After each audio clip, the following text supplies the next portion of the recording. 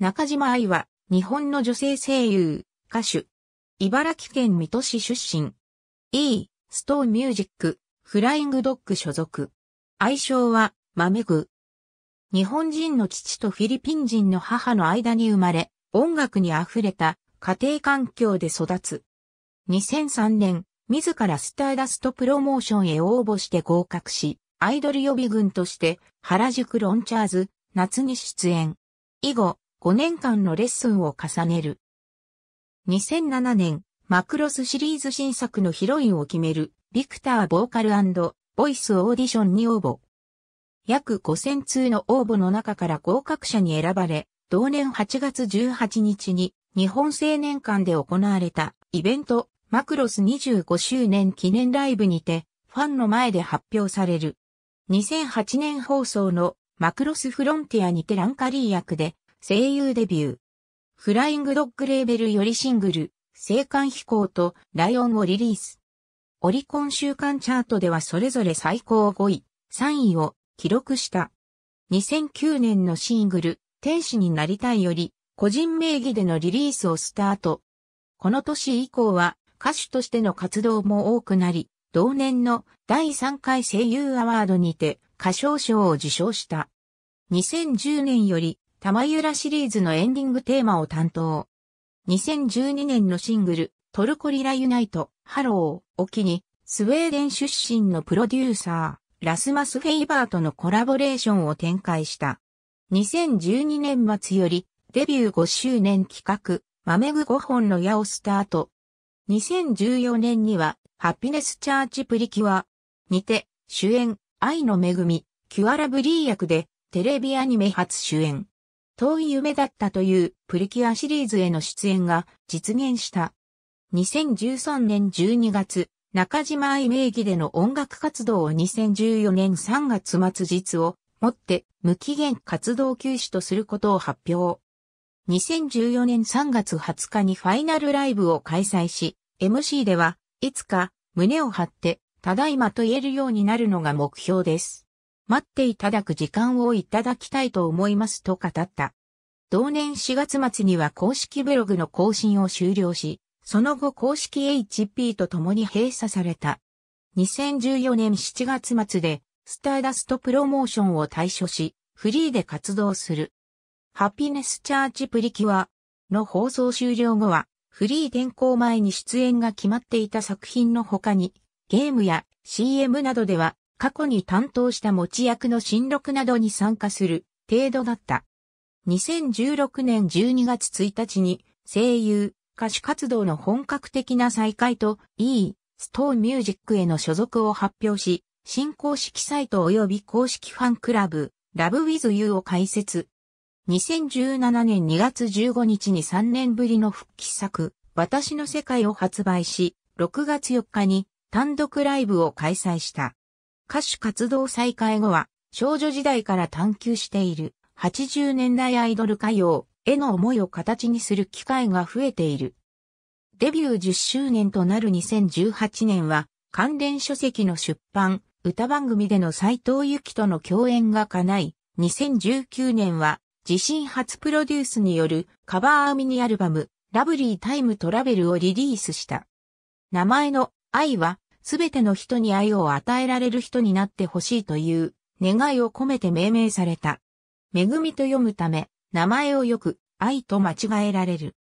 2009年には、セカンドシングル、ノスタルジアが TBS ドラマ、大好き、五つ子の主題歌として使用されたが、OP テロップでは、中島愛の愛の上の部分に、恵みと振り仮名が振られていた。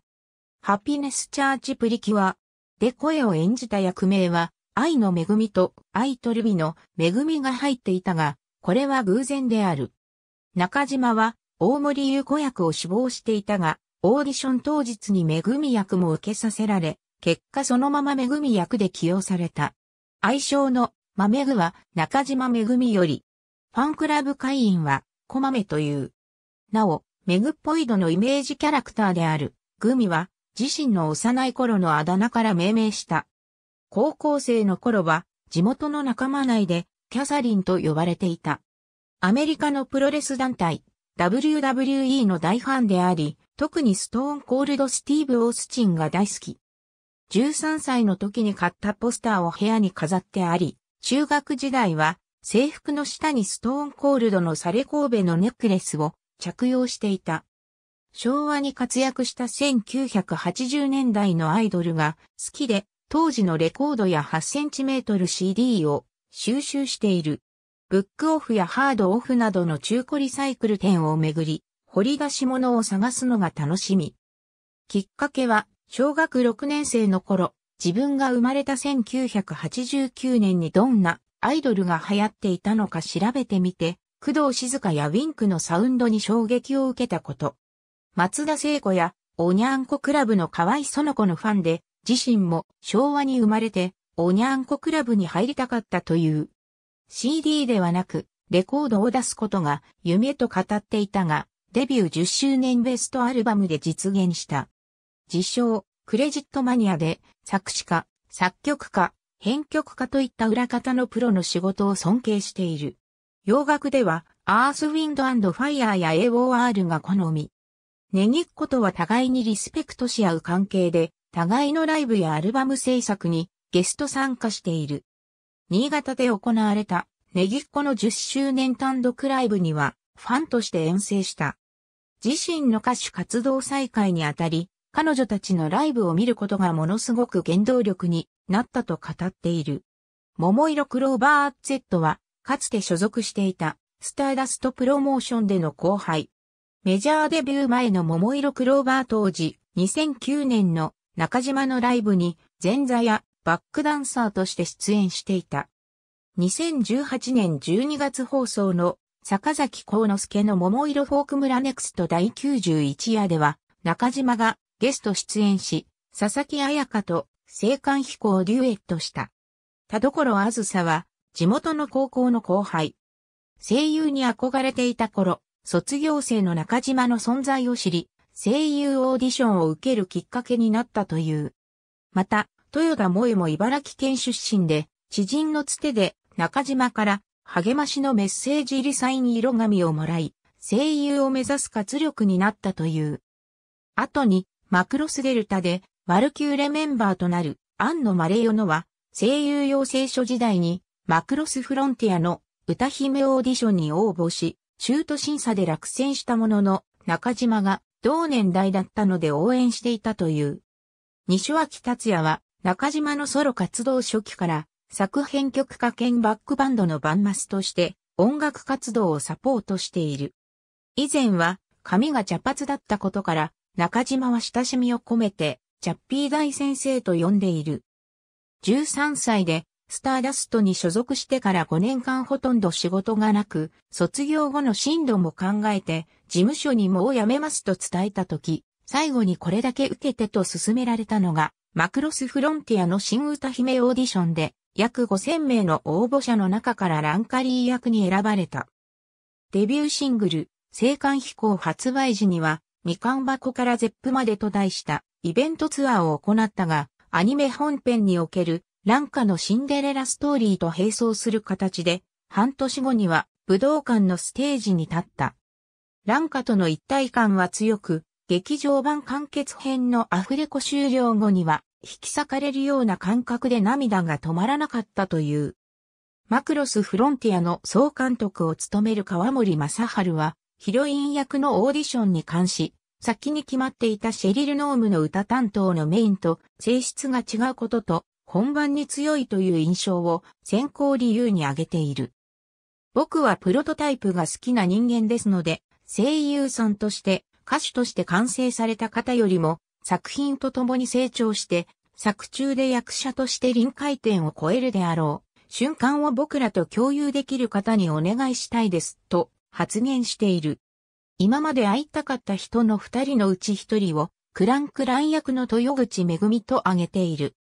リーボンを愛読していた中島は中でも超ギャルズ、ことぶきらんの大ファンで当時その主役を務めていた豊口に相当な憧れを抱いていた。ラジオ、マクロスフロンティアに、豊口がゲストで来た時には本人に、ファンですと告白していた。他にあえて感激した声優に、神谷博士、桑島のり子、井上菊子の名を挙げている。いずれも中島が見ていたアニメの出演者である。マクロスフロンティアにて共演を果たし、その感動を自身のブログにて述べている。神谷博士とは、ラジオ、マクロスフロンティアでも共に、パーソナリティとして共演もしている。マクロスフロンティアの中で好きなキャラクターは、ミハイル・ブラン。マクロスシリーズ全体では、リンミンメイが憧れの存在で、超時空要塞、マクロス愛、覚えていますかのクライマックスシーンは何回見ても涙が出るという。カバーしてみたい歌は、超時空要塞マクロス2、ラバーッツアゲーンマイナスのイシュタルが歌う、もう一度ラビュー。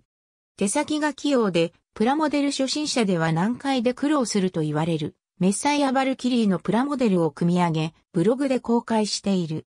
2009年2月23日の K1 ワールドマックス2009日本代表決定トーナメントにおいて、ランカリーのコスプレをして、青函飛行を BGM に入場した長島、自演を津雄一郎の入場コールを担当した。2008年12月3日には動画共有サイトニコニコ動画に自身の新曲 Be Myself を歌いながら踊っている動画を投稿して話題になった。1日で14万回以上再生されると同時に中傷のようなコメントも集まり運営側が自主的に削除して対応した。また、2008年12月24日には東京都渋谷区で主催するクリスマスイベントを上日の動画投稿サイトで生配信した。天使になりたいに収録されているダジャレの歌が原曲者に連絡なしのままタイトルと歌詞が変更され発売された。その後、関係者間の連絡ミス及び認識不足であることが分かり、2009年2月21日付で公式ブログに謝罪文が掲載された。2018年6月6日、10月から放送予定のアニメ、二度目の人生を異世界でのローナ・シュバリエ役を降板すると発表。原作者の SNS 上でのヘイト発言が問題となり、アニメ化自体も中止となった。その後、6月24日に上海で開催予定だった中島の海外ライブが中止となった。太字はメインキャラクターはインターネット配信は、インターネット配信。キャラクター名義での出演、もしくはゲスト出演。ありがとうございます。